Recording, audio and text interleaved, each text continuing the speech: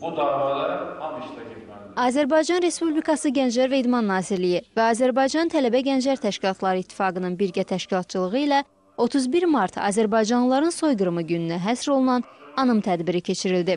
tarix boyu bu Azərbaycana qarşı aparılmış məqsədyönlü siyasət olub, soyqırım siyasəti və yalnız dövlət müstəqilliyimiz bərpa olunduqdan sonra ulu öndərimiz tərəfindən 1998-ci ildə müvafiq sərəncamla 31 mart günü rəsmi artıq e, öz təsbit olunub bizim tariximizdə və bu ilə bağlı e, müvafiq e, yeni tarixi araşdırmalar aparılır, alimlərimiz tərəfindən tədqiqatlar aparılır, yeni ədəbiyyat nəşr edilir və e, tədricən bu ədəbiyyat təkcə Azərbaycan dilində deyil, müxtəlif dillərdə nəşr olunur ki, dünya ictimaiyyətinə çatdırılması üçün.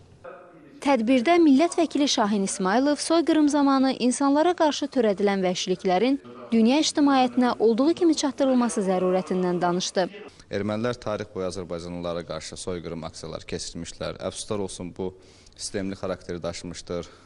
Mümkün olan bütün vaxtlarda Azərbaycanlılar ermənilərin təcavüzlərinə məruz qalmışlar və əfsuslar olsun ki, bu təcavüz bu gün də davam edir.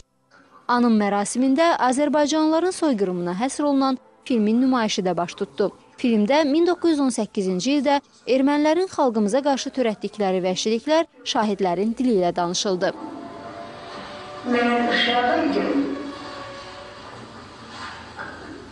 O gözümü açıldı to reflect that you are so lucky.